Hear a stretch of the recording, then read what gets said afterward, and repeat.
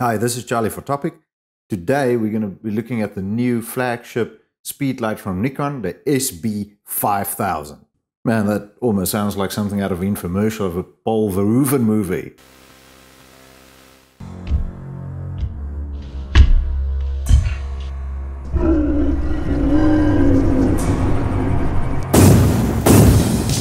The new SB5000, because bigger names are better.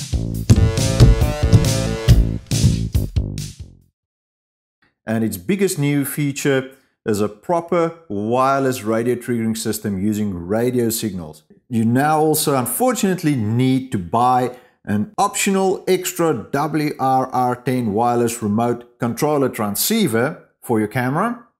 And if you own something like the D810 or D4, D5 with a 10 pin connector, you're going to need an extra bit in there, the WRA10. So great, now you're going to have a camera with lots of bits hanging out that wants to pair up with other cameras and flashes, etc., etc. So thank you, Nikon, for making it overcomplicated and getting us to buy extra bits and pieces. But in any case, let's see if the flash delivers what it promises. The flash pretty much looks similar to the SB900 and SB910. The moment there we see is a quick size comparison between um, the SB5000 and the SB900. It's overall much smaller than the two previous flashes, it makes it handy to use, handy to chuck in a gear bag. It's also slightly more powerful than the SB910. Now the great thing about this flash is that the recycle times now are a retina scorching 1.8 to 2.6 seconds, which basically is half that of the SB910. I just put it here on manual mode, full power, let's give that a test. So I'm getting closer to a 4 second recycle time, but it might be due to the batteries I'm using, but still with the same batteries in the SB910, it's half the recycle time, which is awesome. This flash also now features a whole new cooling system built into it to prevent it from going thermonuclear and melting to your hot shoe like we had on the SB900, which basically overheated after five shots. So this one's now rated to something like 100 shots at full power before it will start to overheat. To access this feature or switch it on and off, just go into your menu function and under your setup menu, you'll find it right there, a little fan icon. You can switch on and off. Don't know why you want to switch it off. Leave it on, prevent your flash from melting. When we look at the button layout of the flash at the back, we'll see it's fairly similar than previous models. One of the biggest difference is now that we don't have a master a selection position anymore on the um, power selection switch. Uh, some of the buttons look a little bit different and we have new shortcut buttons on here as well. And we have a new link indicator on the side that only gets activated when you use it um, with the radio wireless feature. So on this flash, we also have an I button, like on the, most of the newer cameras from Nikon. That's a little shortcut button to our menu functions. Press that, we'll see we have shortcuts to zoom, mode, and exposure compensation in this case. So we can flick through the modes, press OK. It's highlighted at the top, and we have normal TTL mode, auto aperture mode, guide number mode, manual mode, repeat mode, and back to TTL BL or balanced light. If you're not using it in TTL-BL, maybe give it a go. It's an awesome feature that balances the flash with the ambient light. You can still also use the quick selection dial at the back to quickly access some of the um, functions you want to change. So if we press to the side to mode, it will activate the mode function as well, and we can change that. Or if we press up, oops, first press OK to exit it, put it back into TTL mode. And if we press up, we have a quick access to our exposure compensation, which is handy as well.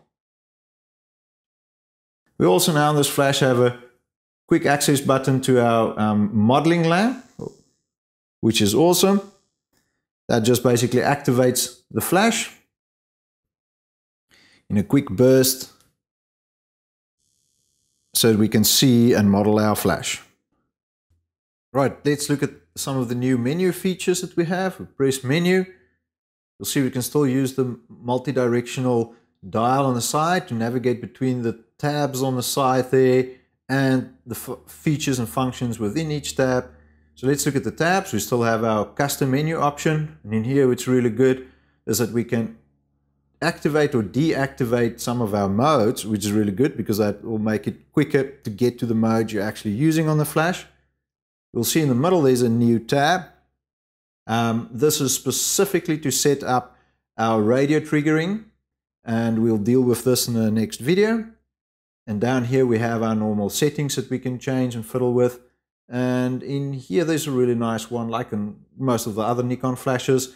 You can set the spread pattern of your flash. We have a choice between center weighted, standard or even. Center weight is really cool. It gives you a bright spot in the middle that feathers out quite strongly. Standard you know, standard pattern and even tries to brighten up the edges a little bit to give you a more even spread. And that's really useful to use when you're shooting a little bit wider or you're shooting groups that you want everybody lit up basically evenly. If you're not playing with this, you probably should be. Give it a go, see what you get out of it. The one button I've skipped so far is the new wireless mode selection button right there. And if I flick the power all the way to on, over to on, and I press this button, I'll cycle through all the different master options for our wireless connections. So there you go, normal little snake with a lightning bolt function. This is our normal optical triggering system like we had in old CLS systems. I press it again, I'll cycle now to the little snake and wireless feature. This will unfortunately only work if you have that little wireless transceiver um, attached to your camera. So if we have this mode activated and we attach it to most Nikon cameras, you'll see an error come up, which basically says that the flash cannot communicate with your camera. You need that little WRR10 transceiver dongle thingamajig bit. Right. But luckily, this flash is still fully compatible with the older flashes and the older CLS system, which is great. At least Nikon looked after us there. You don't have to go and invest in a whole new lighting system. So this flash will still happily act as master or as um, slave for your current CLS systems like on the SB910 or SB900s or other flashes. If you look in the description of this video, you'll find links to both videos showing how to set up this um, speed light to be used in the normal CLS system, an optical triggering system, as well as setting it up for the radio triggering option we now have.